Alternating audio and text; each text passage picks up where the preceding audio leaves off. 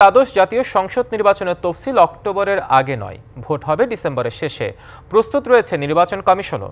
দুপুরে সাংবাদিকদের প্রশ্নের উত্তরে এসব কথা জানান সিইসি কাজী হাবিবুল আওয়াল। নগদের কাছে হক করলেই সমান। হেললেগা, নগদের সেন্ট একদম ফ্রি।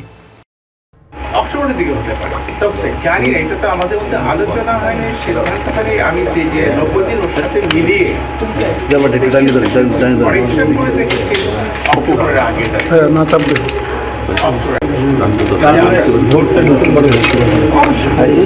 ডিসেম্বরের লাস্ট উইকের আগে।